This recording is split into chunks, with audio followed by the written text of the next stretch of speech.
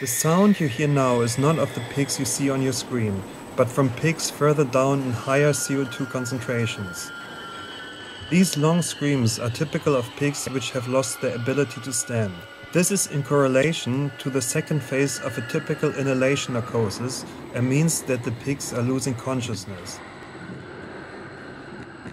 The head shaking is a sign of irritation, likely from breathing in CO2, which is aversive and irritates the nasal passage. Pigs can have the impression that they are breathless. The pigs are losing their balance. They're getting dizzy due to a fast reduction of pH in the brain cells and low amounts of oxygen getting to their brain. The CO2 concentration is now higher. The pigs are now struggling. This is the period of lowest welfare. They are now losing more and more control.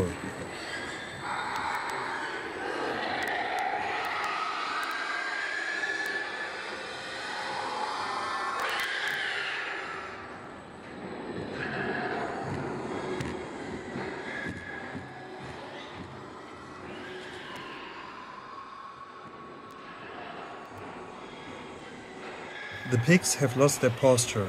They are now most likely unconscious and do not experience anything. In this system, there were approximately 30 seconds of increasingly reduced welfare, and in this time frame there is a period of roughly 15 seconds of struggling, which can be considered as suffering.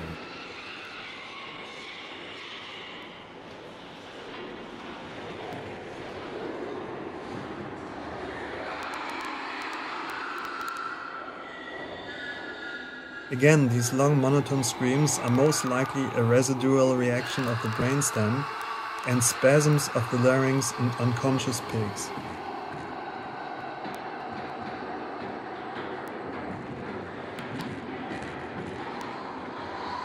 Long after the animals have lost consciousness, you can still see some body movement.